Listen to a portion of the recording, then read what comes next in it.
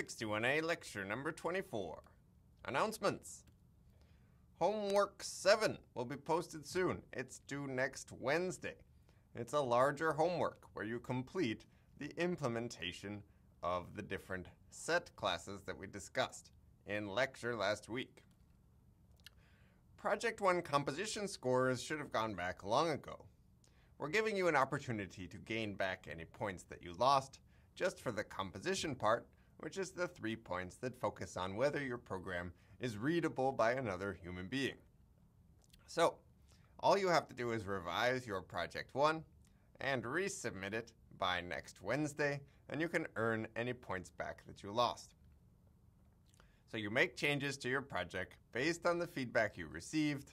You earn back the points you lost on Project 1 composition. This is only a Project 1 thing. It's not going to happen for every other project. And in fact, composition grading of other projects is currently delayed because we're transitioning to a new software system.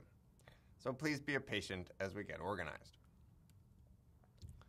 Quiz 2 will be released next Wednesday, the 5th of November, and it will be due the following day.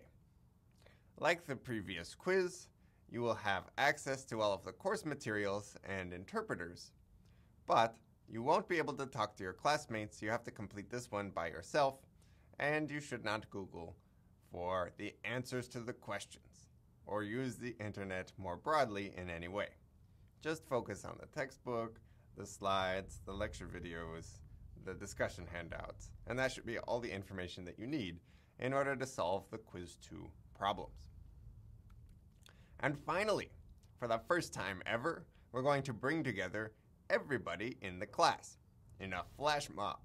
A flash mob is just where a lot of people show up at the same place at the same time, briefly, and then go away. So this flash mob will happen Wednesday, today, from 3 to 3, meaning 303 to 309, just after lecture, in Memorial Glade. We'll organize a little bit, say hello to a few people, take a photo, and that will be it. See you there.